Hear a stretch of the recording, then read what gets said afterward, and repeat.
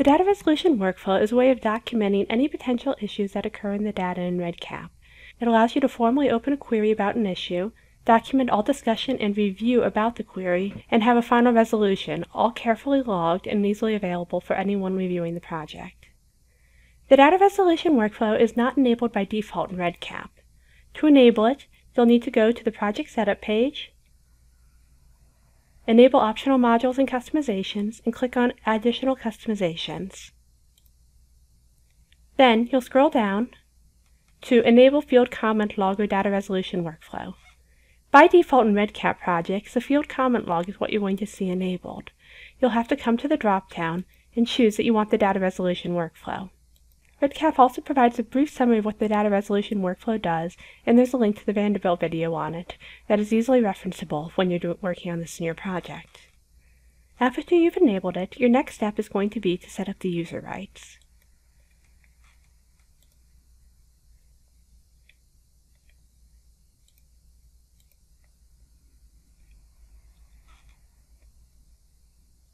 Unlike with a field comment log, with the data resolution workflow, you have to specify the exact rights for each user in the project. You can say that people have no access to it, that they can only see what has happened with it, that they can only open queries or only respond, that they can do both, or that they can do everything. This user has the ability to open, close, and respond to queries. And this user has the ability to open queries only. They can't go back and respond to open queries. The two roles correspond to a project manager and someone who does data entry, respectively.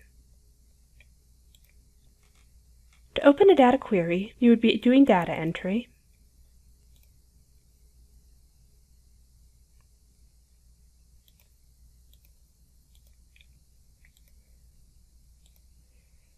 and the person doing data entry may notice something that doesn't look right to them.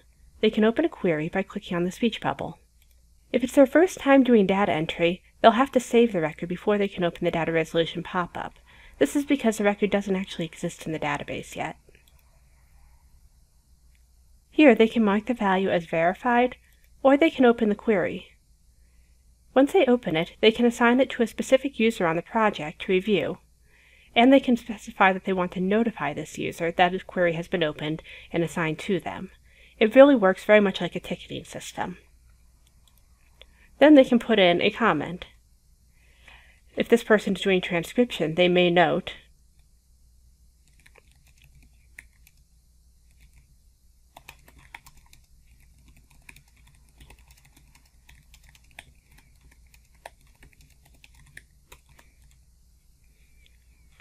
that there may be an inconsistency.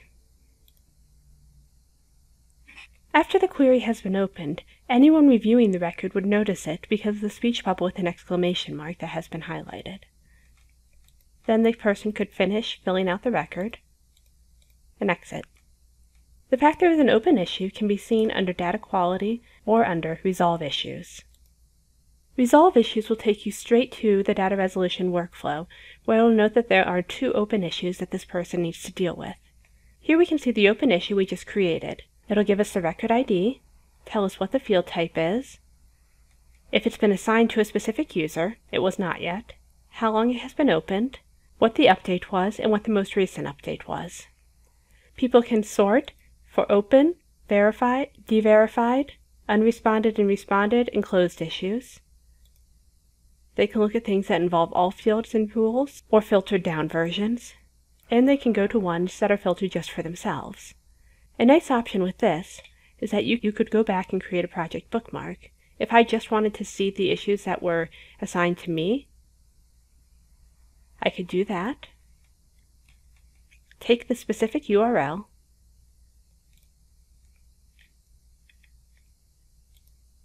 and create a bookmark.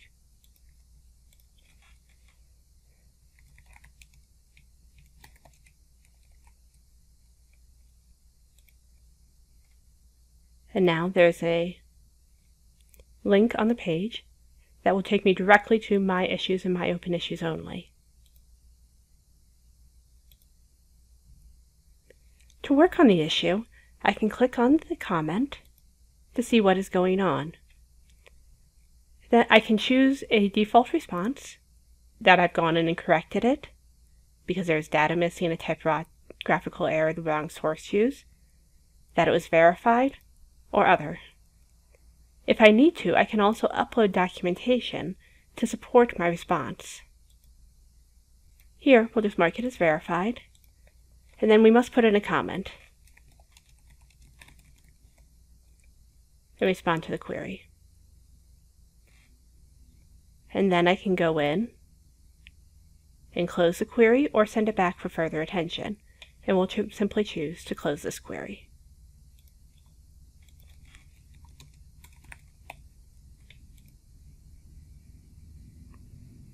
My project is filtered to show only open and unresolved issues, so that particular issue has now disappeared from the dash.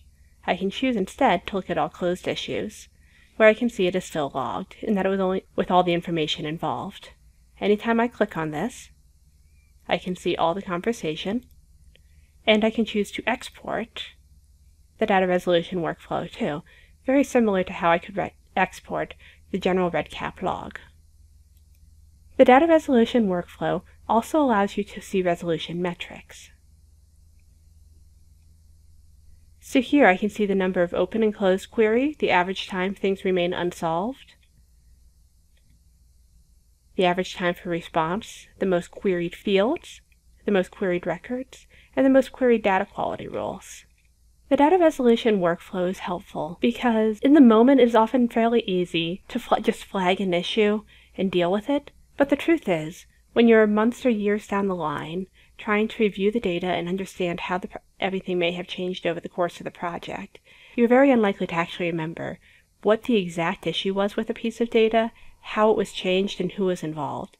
The data resolution workflow makes sure that every issue is opened specifically, addressed, closed, and that the entire process is logged with commentary so that you can always return and know what the story is behind any piece of data in your project.